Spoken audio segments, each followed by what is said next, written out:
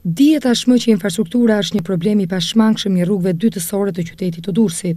Një shqetësim të tillë e vuajnë dhe dy akset kryesore, Dhimitër Kulla dhe Japigja, të cilët lidhin zonën e plazhit në Iliria me Unazën e Shkozetit.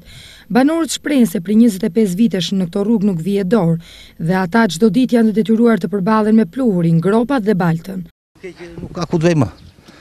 Shpresojmë që të bëhet diçka për këtë zonë këtu se ka ka marrë fund, nuk jetohet, nuk jetohet troç muhabeti. Nuk sidomos në, në, në stinët e dimrit është mizeri. Unë këtu jetoj prej 25 vjetësh. Mos më keq, është kjo lagjja dimër që këtu u gjithë për po këtu në verë s'e di se këtu të mbyt pluhuri. Nuk mund të jetosh.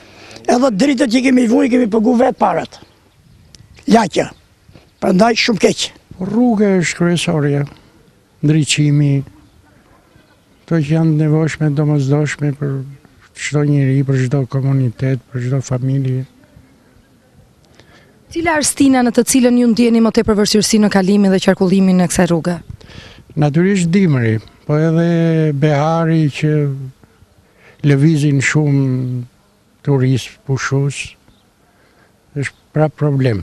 Ajo që shqetëson së tepërmi banorët e kësaj lagje, është që godinat dy-tre katëshe që kanë ngritur për të mirëpritur pushuesit gjatë sezonit të verës, ata nuk po i shfrytëzojnë, pasi me këtë infrastrukturë këtu nuk vjen askush.